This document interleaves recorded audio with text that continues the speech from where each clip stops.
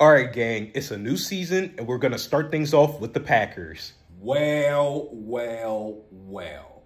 Look what we have here. Oh, no, not you again. Listen, I'm here to help y'all out. So, we got to talk about a lot of things. A lot of things. Keep the main thing the main thing. And I go by Slay. Darius. You think I forgot? You have to earn that nickname. Well, let's hear him out. Thanks, Kelce. For this season, we are going to get it right. Y'all did well in the offseason and the preseason. We got new folks on the team. Oh, CJ, it's good to see you back. Jalen, we are not throwing picks, and you hold on to the ball. Understood.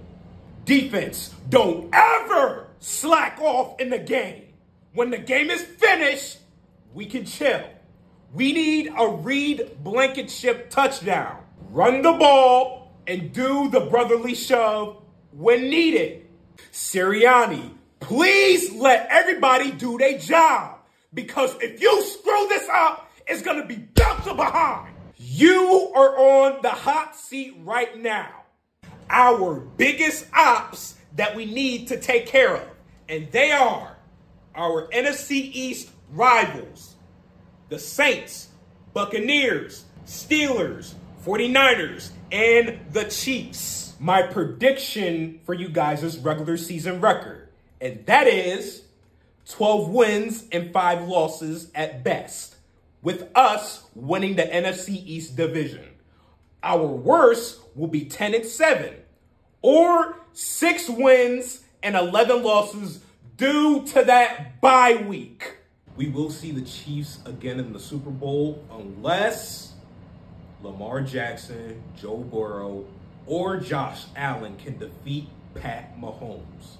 We got all this talent on our team, so there's no excuse for a bad performance. Also, I wouldn't mind if we start off rough in the first half of the regular season. However, we excel in the second half and in the playoffs. Thank you, Coach Randolph. You're welcome. And don't let me come back up here. Listen, we gonna work you all day, every day, till your back give out.